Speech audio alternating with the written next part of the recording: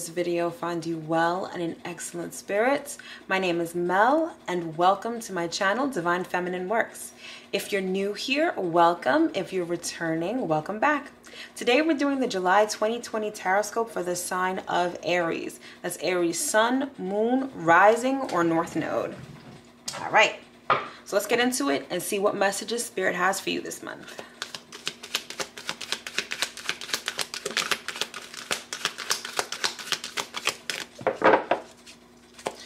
Aries. Sun, Moon, Rising, and North Node for July 2020. Oh my gosh. We have patience. And I said, oh my gosh, because almost every sign has gotten this card this month. Huge message for everybody. All right, this is for Aries for July 2020. We've got relationship change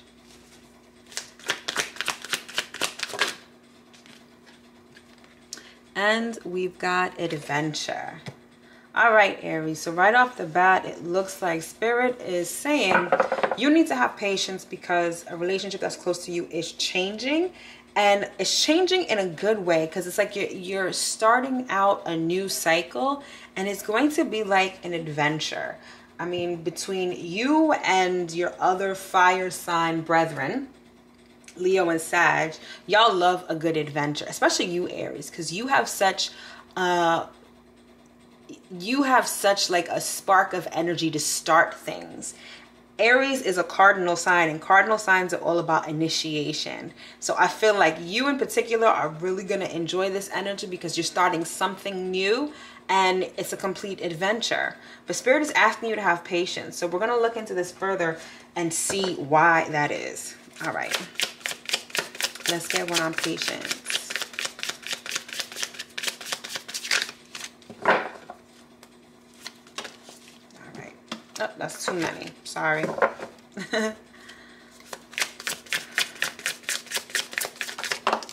Perfect. All right, we've got Judgment. And we've got the Nine of Pentacles. All right. So, what I'm hearing is that this could be, hold on, I have to sneeze. Okay, no, I don't. Sorry. This could be a relationship that is reappearing or that's restarting after you've been single for a minute so what i'm hearing is that you've been doing your thing. You've been bad all by yourself. You've been independent. You've been you know abundant. And it's like all of a sudden there's going to be this re-earthing this unearthing of a relationship that you thought was dead and buried. All right? Let's get some cards on this relationship change All right, we've got the sun.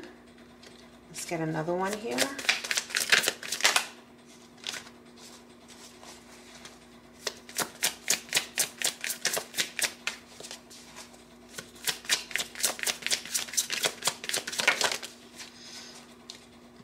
All right.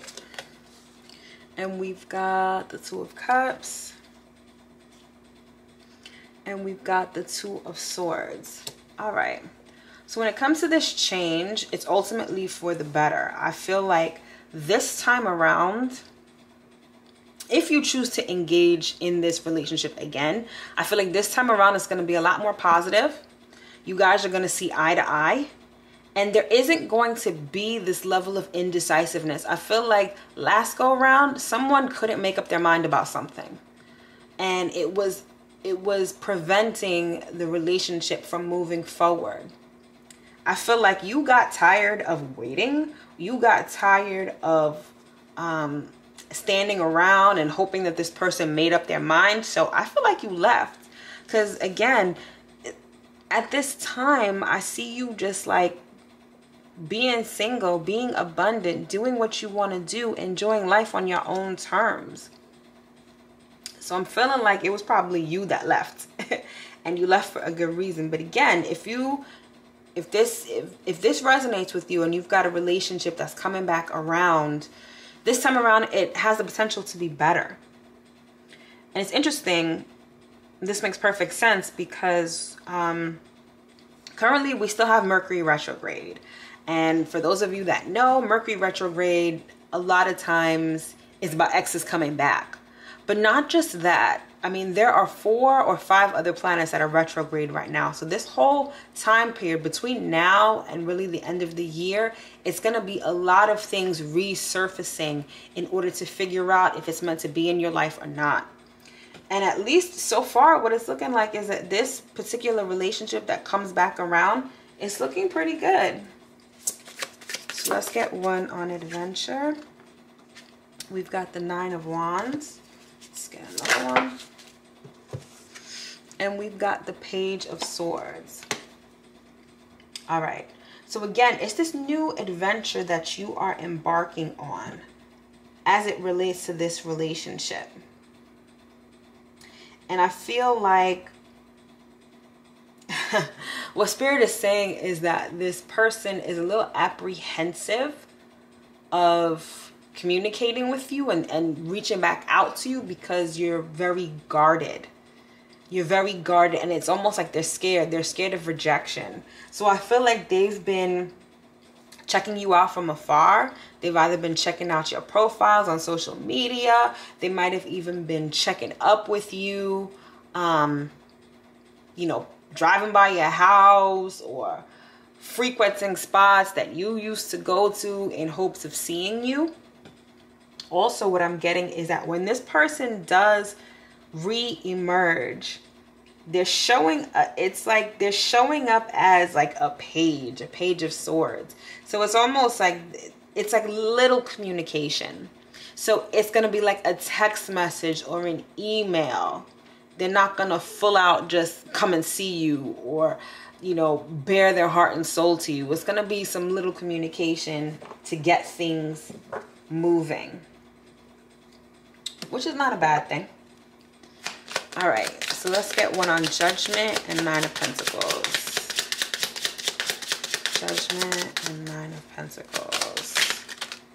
Oh, that's too many.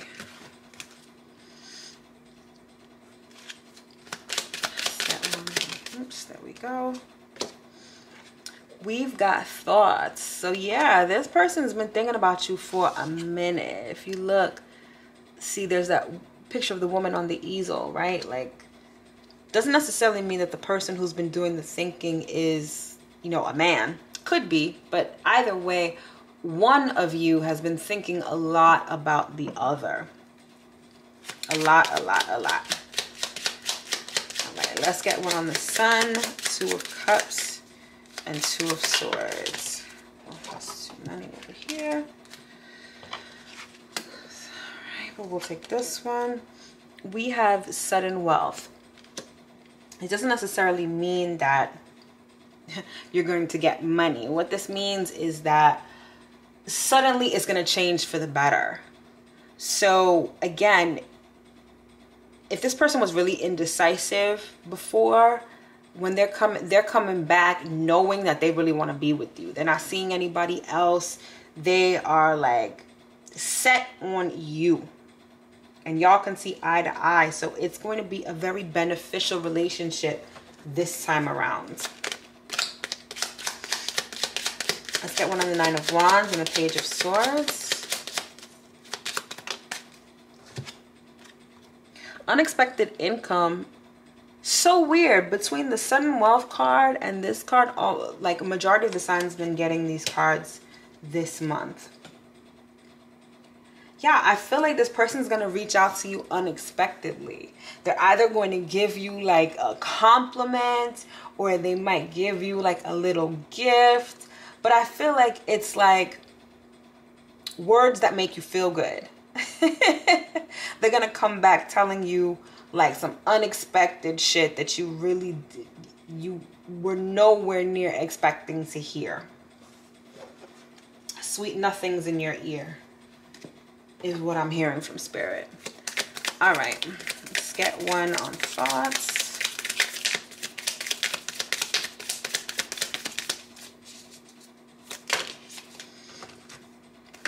All right. We've got temperance. So again, Spirit is asking you to have patience at this time because this is going to take some time and it's like Spirit is cooking it up. Spirit is working on this behind the scenes. If it's could be your guardian angels that are putting this together. So Spirit is like, all right, I need you to be patient because we're working on this for you. And then we've got the Ace of Swords. Remember when I said that, you know, this person in the past was very indecisive. They didn't know which way they wanted to go. They might have had more than one option. They couldn't make up their mind. This time around, they're coming back and they know exactly where they want to be. They want to be with you. They want to have a relationship with you. They want there to be open communication. They're they're willing to tell you the truth, although they're not going to tell you everything up front. I feel like they're going to hit you up via text message or email, tell you, oh, I saw you over here, you were looking good, or, you know, give you some sort of compliment. And then they're going to um, take it from there. And over time, I feel like they're going to be upfront with you, maybe about what happened in the past, but more so than anything else, they're just they just know where they want to be, and they want to be with you. All right, and so yes, this new adventure is them uh, coming at you with their cup of love with the knight of cups here. Like they're willing to be open emotionally to have this new relationship with you and they're gonna come with the love offers. Um so that's what you can expect. Aries your task for this month if you choose to accept it is to be patient when it comes to your love life because spirit is cooking up something good for you. Someone from the past could be re-emerging and they're re-emerging better than ever. It's not the same indecisive wishy-washy energy that they had before. They are coming back ready to be with you and only you. They're going to shower you with compliments and they're really going to uh, offer you their cup of love um, they're a little hesitant because they feel like you may be guarded, especially given what transpired in the past. But all in all, this seems good. Um, but again, you have free will.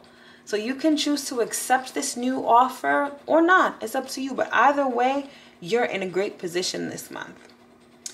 So let's get one last card to close out this reading for you, Aries, for July 2020.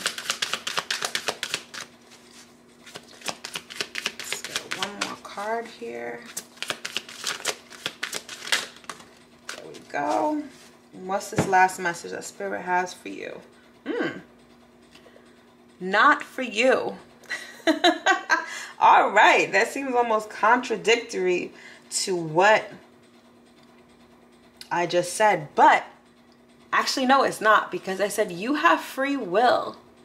You have free will to turn this down if you want to. And it's interesting. I don't know if you can see it, but it's like a little fortune cookie in the middle and it says nope.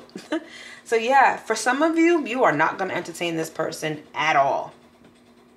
It's not for you. You moved on. You like your independence.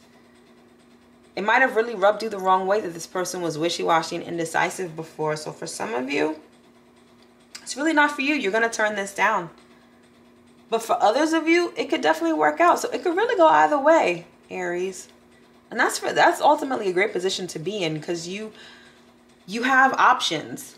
On the one hand, you can do battle by yourself. You can be independent and still be happy. On the other hand, if you accept this love offer from a past lover, it's actually going to be better than it was before. So either way, you are sitting pretty this month, Aries. That's all that matters. All right, so that's been your reading for this month. I hope you were able to get at least something out of this reading. I hope at least one message resonated with you. If so, don't forget to hit the like button, subscribe, and hit that notification button so you'll always be notified when I come out with new content. All right, I will see you in my next reading. Talk to you soon. Bye.